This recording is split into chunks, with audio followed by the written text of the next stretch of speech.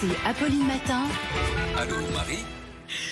Allô Marie, ce matin vous répondez à plusieurs questions parce qu'il y a des auditeurs qui vous écrivent sur le fameux couvre-feu à 18h. Alors d'abord c'est une question de Christophe, il voudrait savoir s'il peut continuer ses cours de conduite après 18h. Et la réponse est oui euh, pour Christophe. Le ministère de l'Intérieur a validé la possibilité pour les écoles de conduite de poursuivre euh, les cours de conduite pendant les horaires de couvre-feu.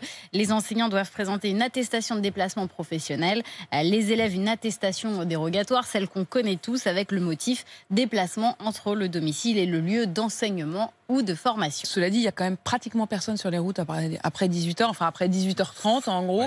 Donc c'est peut-être un peu plus facile pour la conduite. Autre question, c'est Mamoudou qui voudrait savoir s'il peut continuer à prendre des cours de français à domicile le soir.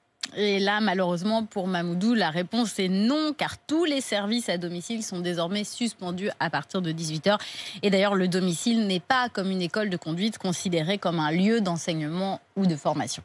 Et enfin, Patrick, qui voudrait savoir s'il peut prendre un train qu'il a réservé. Ce serait le 30 janvier et il part à 19h. Bah oui, bah c'est exactement comme pour le, quand le couvre-feu était à 20h. Les transports longue distance font figure d'exception. Il est toujours possible de prendre un train, un avion ou un bus longue distance. Euh, au-delà de 18h avec une attestation dérogatoire. Patrick devra simplement cocher la case 7 déplacements liés à des transits ferroviaires pour des déplacements de longue distance. J'avoue que j'ai du mal à comprendre qu'on puisse prendre des cours de conduite dans une, dans une voiture fermée après 18h et par contre des cours de français à domicile, là ce serait pas possible.